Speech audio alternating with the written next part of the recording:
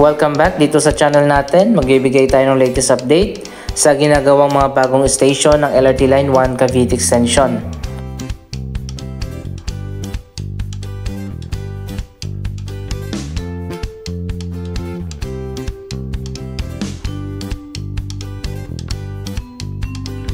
So ayan guys, ito na ang latest progress sa ginagawang bagong Redemptory Station. Nasa tapat lang ito ng Baclaran Church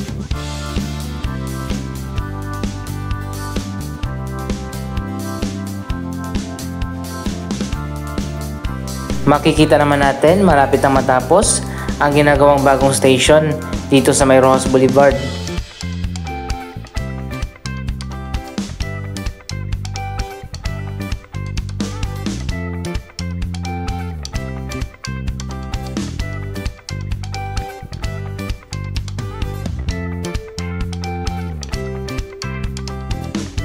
Sobrang taas na ng mga damo dito sa bakanting area sa tabi ng station. Kaya hindi na natin halos makita ang ginagawang bagong istasyon. Ano kayang itatayo dito? sa bakanting lote sa tabi ng Redemptory Station. Mas maganda siguro kung mall ang itayo dito sa tabi ng istasyon.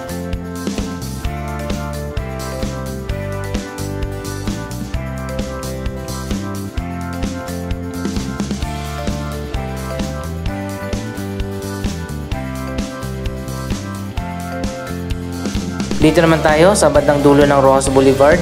Ito na ngayon ang pinaka-latest na progress sa ginagawang Mia Road Station ng LRT Line 1.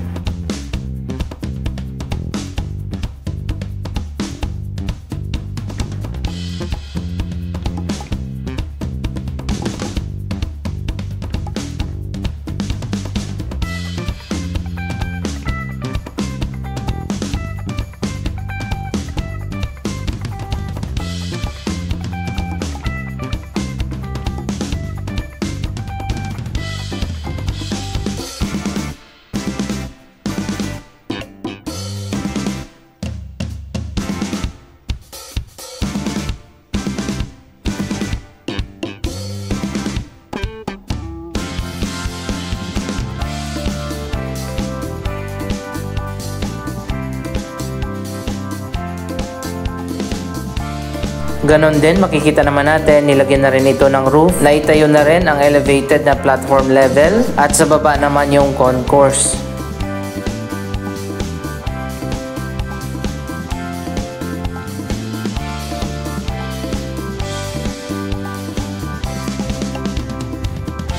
Magkakaroon na rin ng bagong footbridge dito, patawid sa Mia Road, papunta doon sa kabilang side kung saan nakatayo dati yung Coastal Mall na na-demolish na. Sa kabilang side meron ng hagdan pero dito sa kabila ay ilalagay pa lang yung hagdanan dito.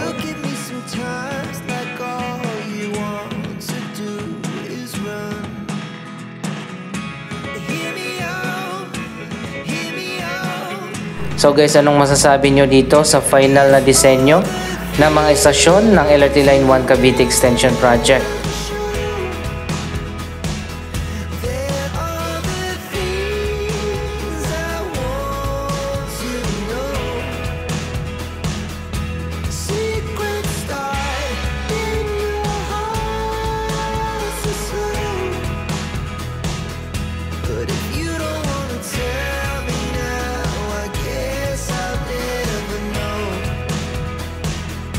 Ayon pa nga sa Light Rail Manila Corporation, tuloy-tuloy na nga ang progress sa limang bagong istasyon na bahagi ng Phase 1 ng LRT1 Cavite Extension Project. Pero ang Phase 2 at Phase 3 ng proyektong ito kung saan magtatayo ng karagdagang tatlong bagong istasyon ay nagkaroon ng delay dahil nga sa issue sa right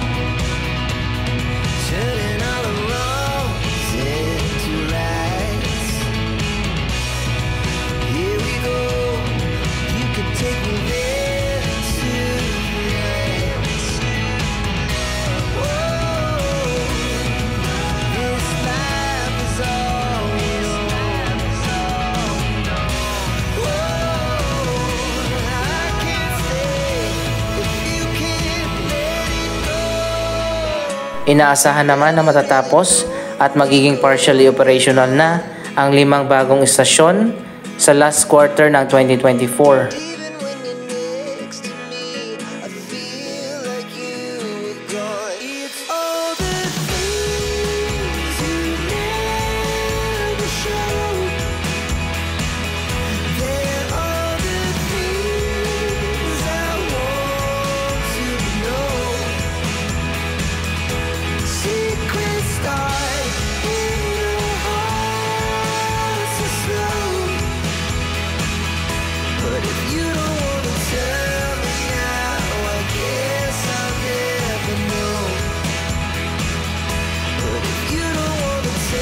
Hinihintay pa di umano ng Light Rail Manila Corporation ang private company na nag-ooperate at nagmamanage sa linyang ito. Sinisiguro muna nila na makuha ng 100% ang remaining na right of way para sa segment mula sa Paranaque hanggang sa Bacoor, Cavite.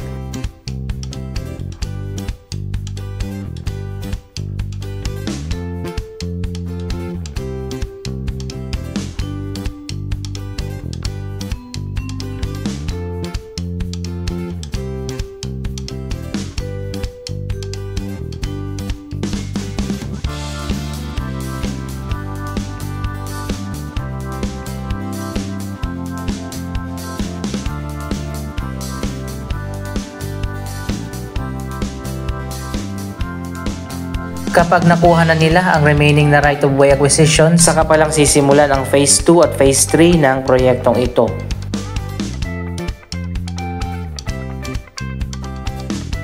Para sa mga commuter na taga Las Piñas at mga taga Cavite, medyo matatagalan pa at madidelay nga ang construction ng tatlo pang istasyon ng LRT1 Cavite Extension Project.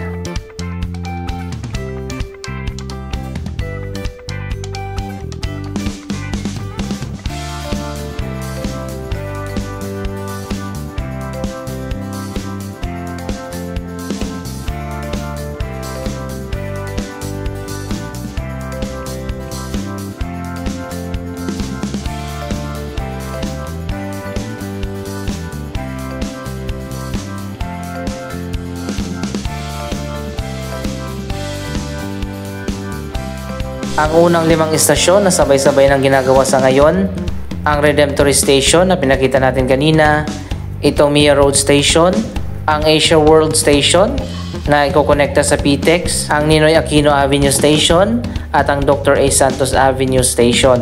Lahat yan ay nasa loob ng Paranaque City.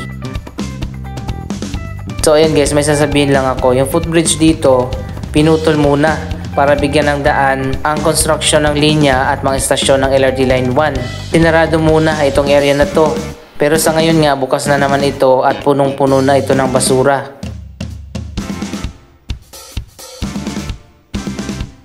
Ayan, tingnan nyo, papakita ko lang sa inyo kung gaano kadami ang basura na nagkalat dito sa taas ng footbridge. Anong nangyayari dito? Footbridge ba ba to o basurahan?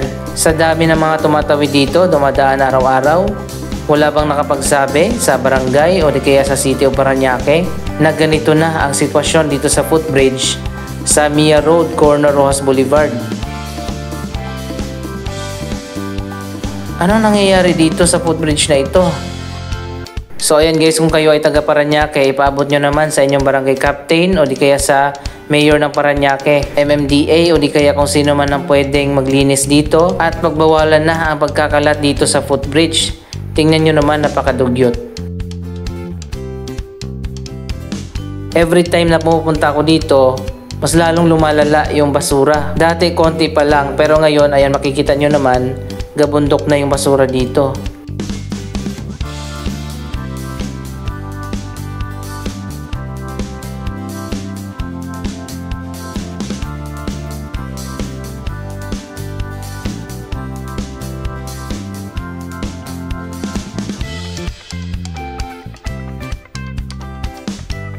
Anyway, balik na tayo dito sa Mia Road Station ng LRT Line 1. Malapit na nga matapos ang istasyon na ito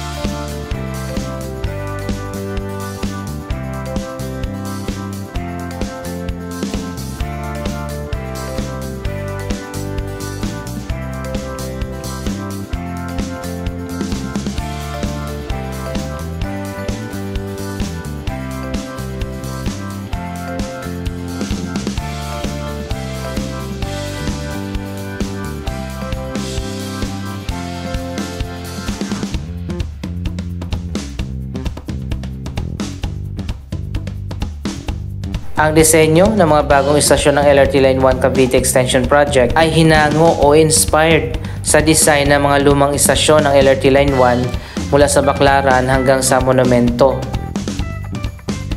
Kaya ayan makikita nyo naman, halos kaparehas lang din o kahawig ng mga bagong istasyon ang mga lumang istasyon ng LRT Line 1.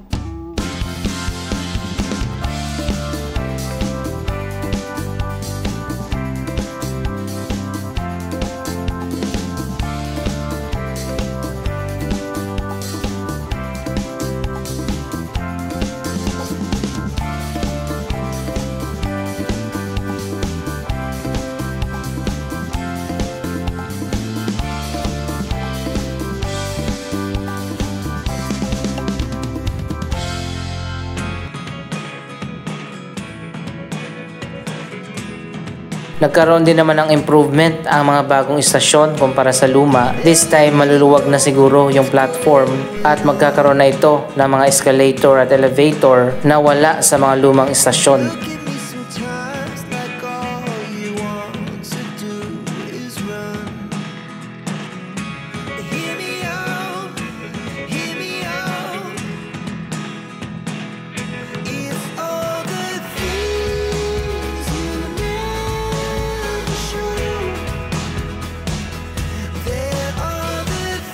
Pabalik na tayo dito sa Redemptory Station na nasa tapat ng Baclaran.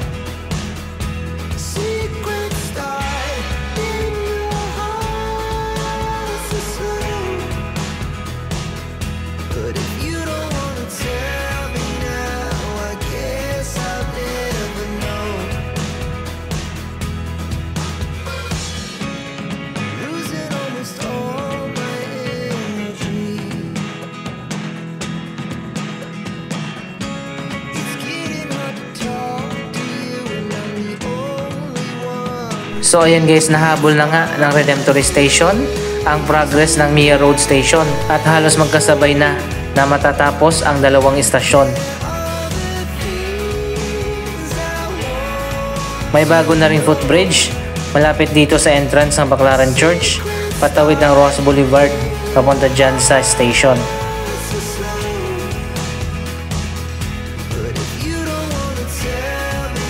Anyway, bago tayo magtapos, ang Heritage Hotel pala, isang 5-star hotel dito sa May Pasay, ay kasalukuyan na nagkakaroon ng major na redevelopment.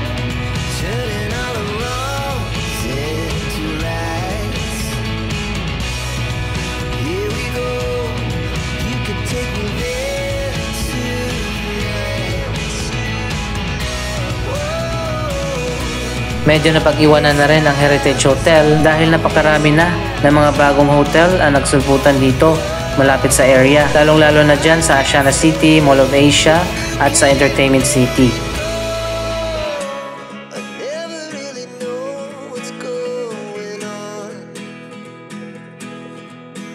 Ongoing na ang renovation dito sa hotel na ito sa Pasay. Marami na mga bagong hotel na mas bago at mas maganda sa Heritage Hotel. Anyway, anong masasabi nyo sa final design ng mga LRT Line 1 stations? Mag-comment lamang dyan sa baba ng inyong mga reaksyon. Maraming salamat sa inyong panonood. Don't forget to like, share, comment, at subscribe. Thank you for watching!